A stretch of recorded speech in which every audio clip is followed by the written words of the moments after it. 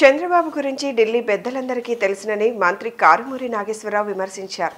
చంద్రబాబు అంతటి నైవంచకుడు దుర్మార్గుడు మరెవరూ లేరని ఈ విషయం ఢిల్లీ పెద్దలకు తెలుసు కాబట్టి వారు ఆయనను దరిచేరనివ్వడం లేదన్నారు. ఎన్టీఆర్ ఈ మాట అనేక చెప్పారని మంత్రి గుర్తు చేశారు.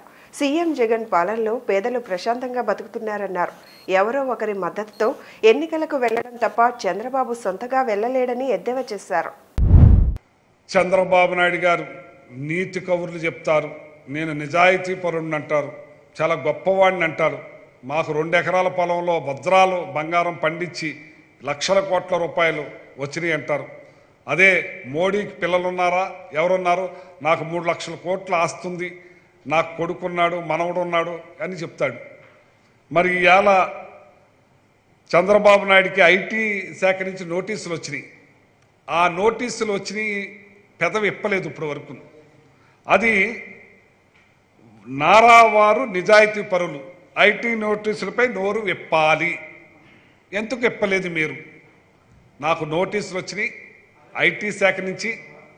నోటీసులు ఎందుకు ఇప్పలేదని మీరు ఇప్పారా నోరు? ఇప్పాలి కదా చెప్పాలి కదా. హిందుస్థాన్ టైమ్స్లో ప్రకటించింది మీకు నోటీసులు ఇచ్చామని. మీరు దానికి ఎందుకు సమాధానం చెప్పలేదు మీరు? మీరు చాలా గొప్పవారు. మీరు చాలా నిజాయితీ పరులు చాలా నీతి పరులు.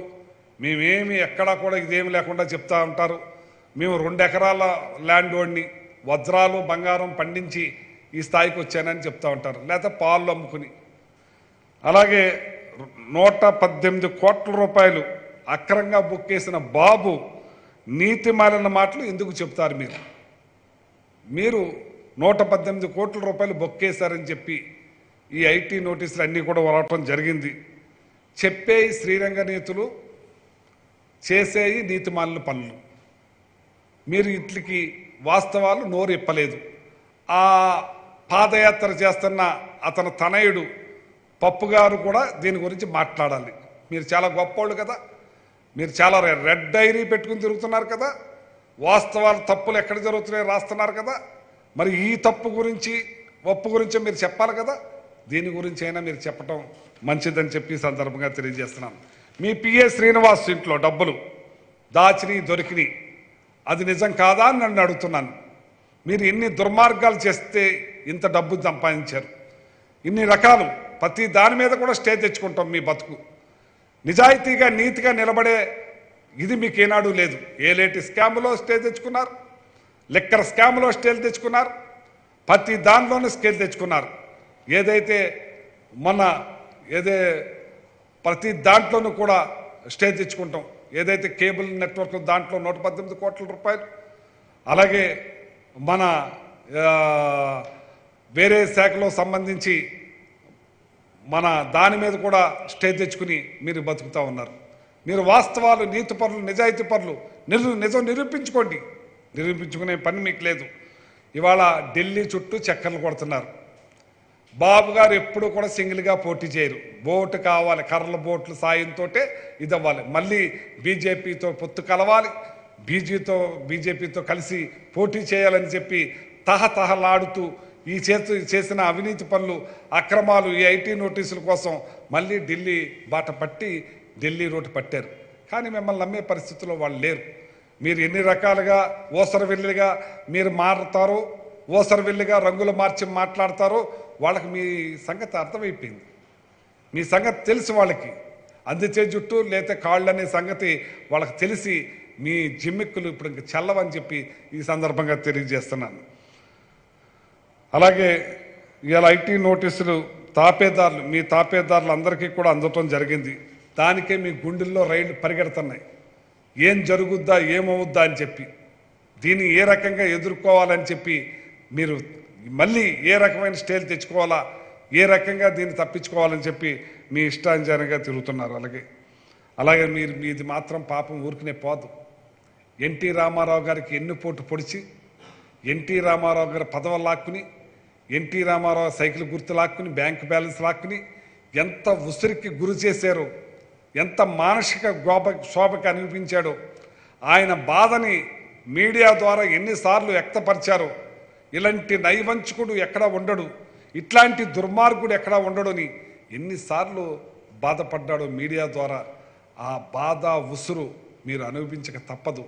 ఈ ప్రజలను కూడా ఎన్ని రకాలుగా ఇబ్బందులు పెట్టారో ఎన్ని రకాలుగా మాయ చేశారో ఇది చేస్తాను మీకని ఎలక్షన్ ముందు వాగ్దానం చేయటం తర్వాత నిమ్మక నీరెత్తినట్టు ఉండిపోతాం.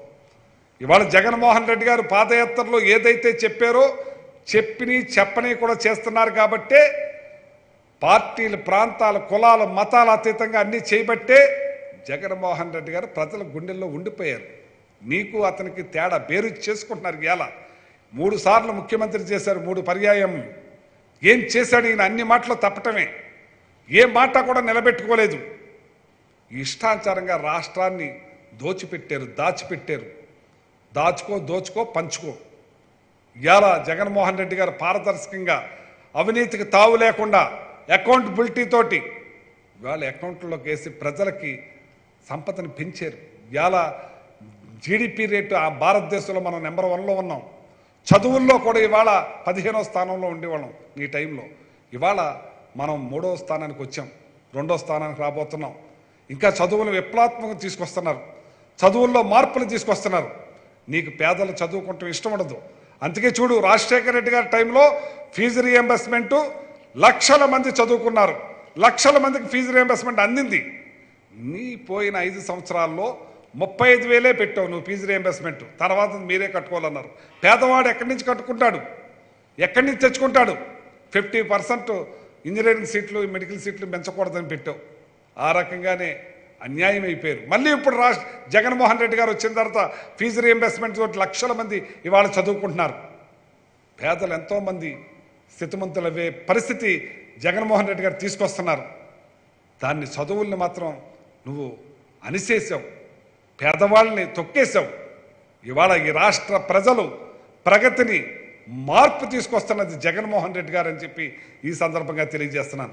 ఇప్పటికైనా సరే నీ కుప్పికెంతులు మాని నీతిగా నిజాయితీగా మాట్లాడుతూ నేర్చుకో. అన్నీ కూడా అబద్ధాలు. పచ్చి అబద్ధాలు. అవునులే రాజశేఖర రెడ్డి గారు అన్నారు. నువ్వు నిజం చెప్తే నీ చేయ తలకాయ వెయ్యి చెక్కలు వద్దని నువ్వు ఎప్పుడూ అబద్ధాలే చెప్తావు నీ నాయకులు అబద్ధాలే మాట్లాడుతూ ఉంటారు. ఈ రాష్ట్ర ప్రగతి జగన్మోహన్ రెడ్డి గారితో ముడిపడి ఉంది. మళ్ళీ రావాలి కావాలి జగన్ అంటున్నారు అందరూ.